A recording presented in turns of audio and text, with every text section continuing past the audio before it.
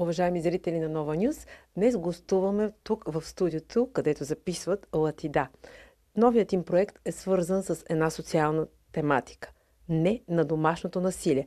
Какво точно иска да ни кажат с новия си проект, ще разберем от самите момичета именно сега. Здравейте! Здравей! Разкажете ми малко повече, защо решихте да пеете на такава тематика? Ам, ние не за първи път демонстрираме съпричастност към социални проблеми. Не веднъж сме били участници в различни благотворителни кампании и сме се включвали в най-различни каузи с такава цел. За първи път обаче създаваме песен от нашето лично творчество, на, посветена на подобен проблем, именно домашното насилие. Като хора, които работят с деца, с децата от група Бомбон. Ние сме вокални педагози, вече над 10 години в групата. Знаем колко важно е едно дете да расте в здрава семейна среда. Именно от това беше провокирана и нашата идея още по време на пандемията през 2020 година, когато бяхме затворени в домовете си вкъщи, гледайки новини, следейки страшната статистика на постоянно увеличаващия се брой на жертви на домашно насилие. И са причастни към а, жертвите, към хората, които пряко или косвено са страдали от това, решихме да създадем една такава песен, една песен призив, една песен в подкрепа на хората, които страдат, една песен, която да а, с която достигайки до хората, да помогнем за това да си отворим очите като общество за проблема. Смятате ли, че чрез песен хората ще чуят това послание? Смятаме, че песента е един от най-лесните начини даден проблем да достигне до колкото се може повече хора. И а, с нея си говорихме, когато направихме песента. А, винаги, когато изкараме нещо ново, а, се надяваме някой да се припознае в песента. А, в, с а, тази песен се надяваме колкото се може по-малко хора да се припознаят в нея. За вас важно ли е да вземате такива социални тематики, да ги показвате, да засягате тези проблеми?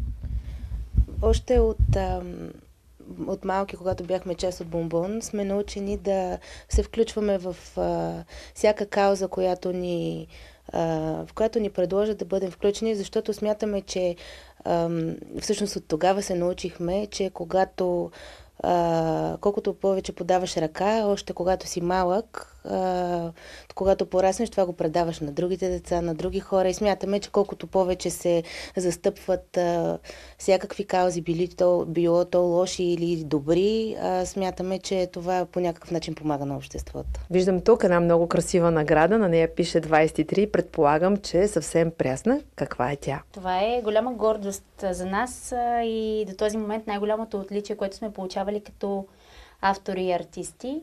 Тази награда е само от преди броени дни. А, песента Самота беше част от 12-те финалиста на конкурса Пролет на Българско национално радио. И а, успя да спечели а, слушателските а, гласове.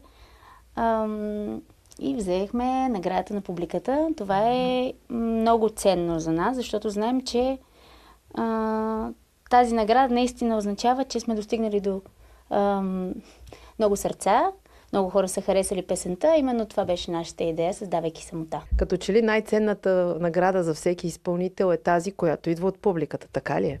Ами да, това всъщност е а, втората награда, която ние имаме от конкурса Пролет.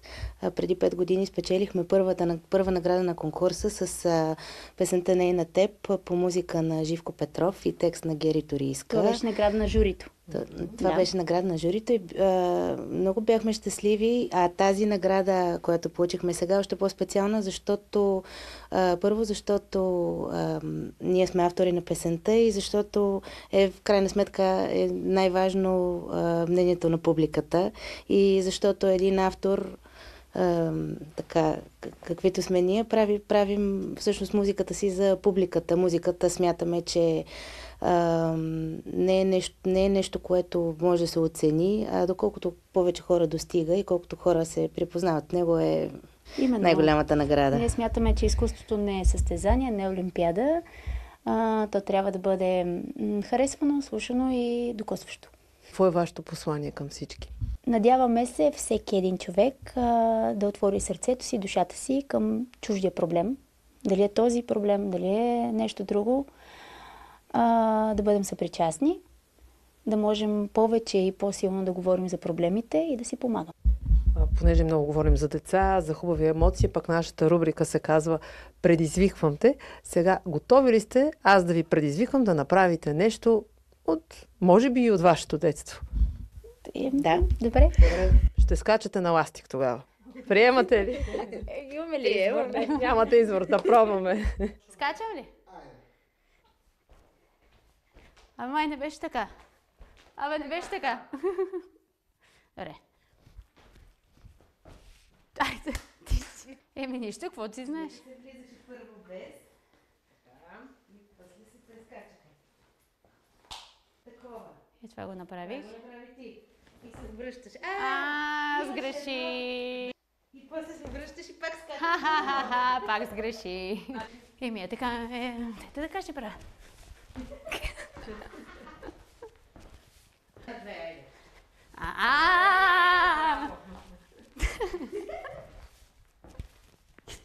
Благодаря ви